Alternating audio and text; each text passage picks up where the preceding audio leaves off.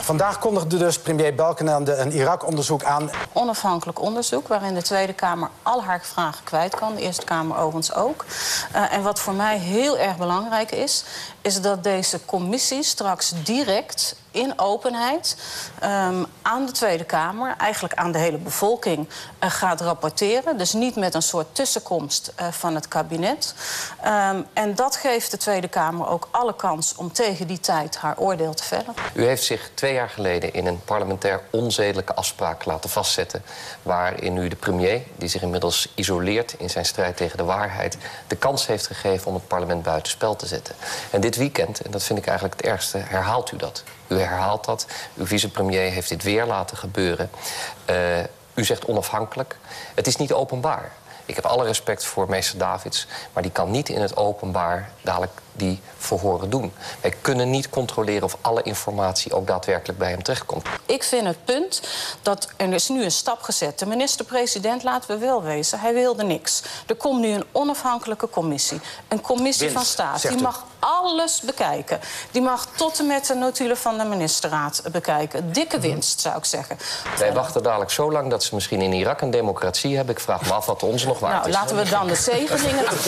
U bent parlementariër, Ja, ja. u bent volksvertegenwoordiger. Ja. Bij u ligt het recht om een open onderzoek te doen. En u verschuilt zich achter Nee. een constructie die u een half uur wist... en vervolgens moet u hem hier vanavond verdedigen. Nee. Terwijl u jarenlang zelfs campagne heeft gevoerd op dit onderzoek. Nee, ik geef u aan, en dat eh, voor de laatste maal... dat ik geloof dat via dit onderzoek... ehm, nou ja, ik denk dat u me niet nog een keer Ja, de kans nee, geeft. nee, dat klopt.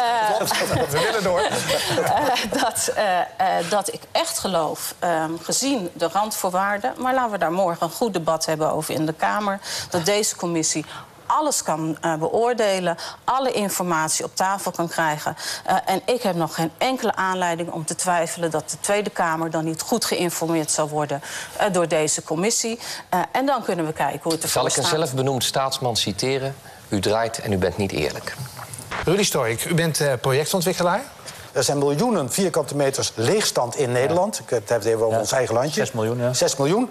En dan wordt het toch weer opnieuw gebouwd. Want er is een internationale druk. Nou ja, omdat vastgoed altijd werd gezien als een interessant product. Nog steeds wel wordt ge- gezien, de waarde vast. Dat kan ook wel heel prettig zijn in bepaalde tijden. Ook als het leeg staat. Soms ook als het leeg Hoe kan dat? staat. Ik met, met de verwachting dat dat in de loop van de tijd volkomt. En dat in een normale periode, en normaal moet je je voorstellen... alles voor de 21ste eeuw... als die bevolking maar doorgroeit, ja, komt het dan wel weer voor. Maar als aan de andere kant die vraag blijft, aan blijft wakkeren... vanuit beleggers die daar wel geïnteresseerd in zijn... gewoon- Beleggers sturen de vraag van het aantal kantoorruimtes dat er komt. en niet de alleen in Nederland hoor. Dat is geen typisch Nederlands. Dat heb je in Amerika gezien, dat heb je in alle grote landen gezien. Ja. Ja, het idee dat, je, dat er dan allemaal mensen bij bouw- en woningtoezicht van de gemeente waren... die dan zouden zeggen, nee ja, wat nou, nog meer leegstaande Nou kantoren hier. We willen daar woningen hebben. Het, het bijzondere aan de situatie is dat je juist vanuit die gemeentes... dat de belangrijkste katalysatoren waren van dat proces. Want elke gemeente wil natuurlijk ook een mooie kantoorlocatie hebben. En het verandert wel op het ogenblik. En zeker onder invloed van de huidige crisis zien we een omslag. Het duurzaam bouwen wordt echt van een begrip. En het meer aandacht hebben voor de stad... en zorgen dat er meer geïnvesteerd wordt in het herontwikkelen van de stad... dat komt op gang. En de, en de belofte en de hoop is dat deze eh, crisis... daar in ieder geval een enorme bijdrage Ja, aan gaat leveren. ontzettend- Zou dat Moet nou je niet samen- mensen zijn die kijken uit uw wereld, collega's? Ja. Die denken, jongen, jongen, wat ziet hij daar weer mooi weer te spelen... terwijl hij weer jaren achter elkaar tientallen miljoenen verdiend heeft... tot in de quote 500 terecht is gekomen... met precies dat wat hij nu ons verwijt. Ja, en? Goeie tegenvraag, maar Dat de drijf naar privatisering heeft toch ook wel veel kapot gemaakt. Want ik denk dat een sterk stadsbestuur absoluut een voorwaarde is voor, voor Maar, dan- kwaliteit. maar dan is dit... Jort Kelder, eh, binnenkort komt er een programma, ik geloof eenmalig, hè, wat je gaat maken. Ja, ik Taal hoop het wel, is ja. voor de dommen, heet dat. Ja. Nou, daar dachten wij aan toen wij eh, eh, dit weekend in de, in de krant eh, lazen... eh, hoe prinses Christina haar geld heeft ondergebracht in Guernsey.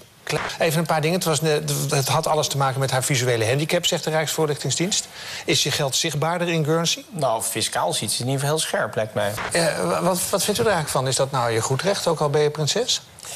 Als het kan, dan, dan kan het. Maar je hebt ook een voorbeeldfunctie. eh, en daar moet je vanaf vragen of dit verstandig is. En dan, Ja, als, ik dan zo, als ik dan hoor dat de, de, de visuele handicap... dan krijg ik altijd er een beetje een soort rilling van...